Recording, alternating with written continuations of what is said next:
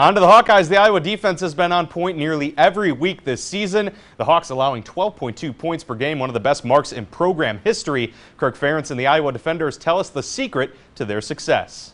The way we practice and the tempo we practice, it's just, I mean, we're tackling, we're hitting, we're moving, we're flying around, and um, playing hard. And that's just that's the mentality of our defense. I mean, Ben, don't break. Uh, I mean, that you've heard that a million times. Uh, don't ask who started the fire, just put it out. This group is more, it's just kind of a team effort. These guys work at it, they're really together, they, they prepare, and, and they just you know, all kind of know what to do and where to be. And then, every now and then we'll come up with some big plays, and it's but it's been spread around a little bit. It's not just AJ doing it all the time. All credits to Coach Parker. He Coach Parker and the coaching staff, they uh, prepare us well throughout the week, and they just make sure that we don't see anything that we haven't saw throughout the week. Since we're really well prepared, it just looks well when uh, we're out there on the field.